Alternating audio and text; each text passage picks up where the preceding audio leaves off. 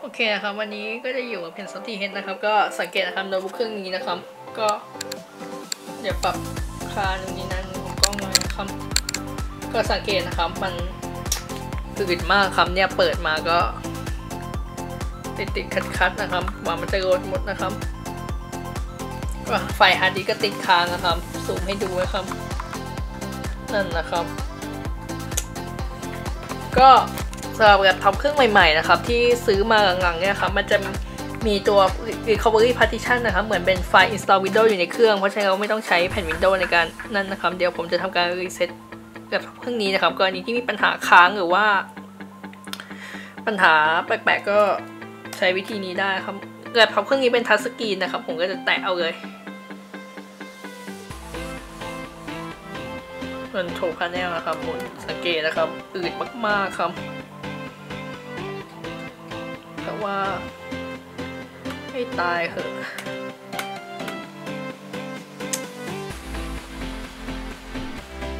ดูเลยครับค้างอะไรก็ไม่รู้เนี่ยครับ คืออะไร เดี๋ยวก็จะไป control panel นะครับสังเกตสิครับ ค้างแบบว่า ไม่น่าให้อภัยอะครับเดี๋ยวขอโฟกัสนิดนึงนะครับ โฟกัสเข้าลำบากนิดนึง โอเค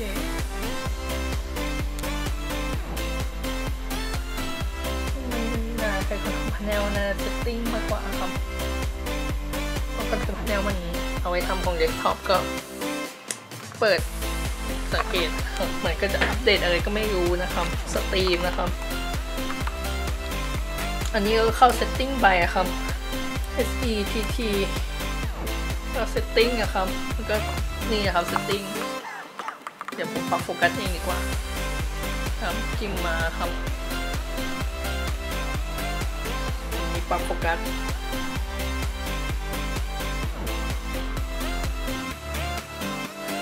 ก็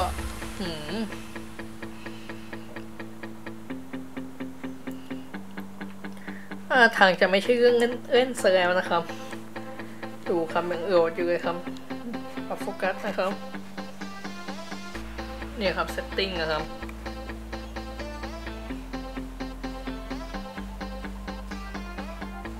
แต่ว่า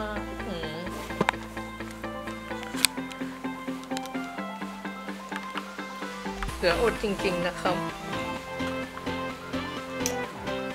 วิธีเบื้องต้นนะครับ ถ้ามันค้างมาอย่างนี้นะครับ ส่วนใหญ่การค้างเนี่ยมันจะเกิดจากฮาร์ดดิสก์นะครับ เพราะว่าฮาร์ดดิสก์มันโดนใช้เต็มโดยอะไรก็ไม่รู้นะครับ นี่ครับสังเกตนะครับไฟฮาร์ดดิสก์นะครับ เดี๋ยวผมโฟกัสเองดีกว่าปึ๊บ ไฟฮาร์ดดิสก์ดวงที่สามครับมันติดค้างนะครับ ฉันก็ชัวร์ๆครับว่ามันค้างมาจากฮาร์ดดิสก์ครับว่าตรงนี้ครับ disk usage ร้อยเปอร์เซ็นต์ครับ เนี่ยครับ System ใช้ไป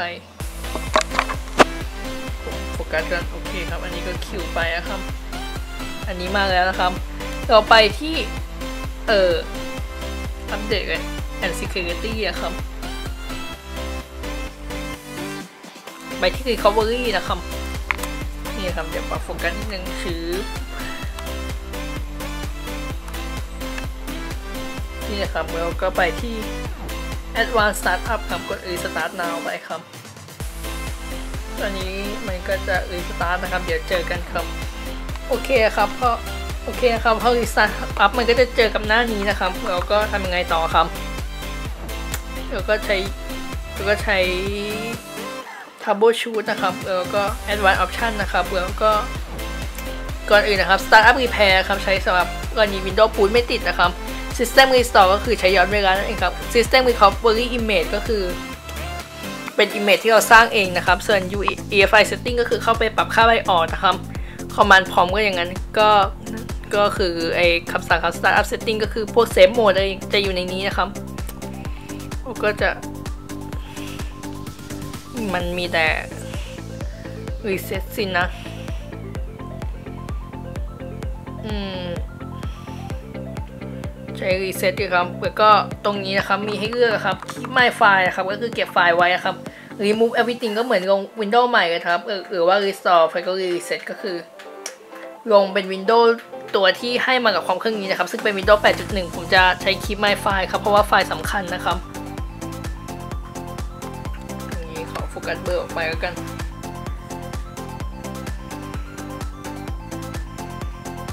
เห็นแล้วครับก็จะนี่ครับ ไม่ปรับโฟกัสให้มันโอเคเพื่อมันบูตนะครับแล้วก็พี่แพ้ครับตรงนี้มันก็จะโหลดนู่นโหลดนี่ขึ้นมาครับอะมาแล้วครับ อันนี้มันก็จะให้เลือก user admin นะครับ แล้วก็เลือกไปครับ แล้วก็ มันก็จะให้ใส่รหัสผ่านนะครับ แล้วก็คือมันมีทัชสกรีนเนี่ยมันขึ้น แต่ว่าผมก็จะคีย์ด้วยคีย์บอร์ดเดียวกัน แล้วก็กด continue ไปครับ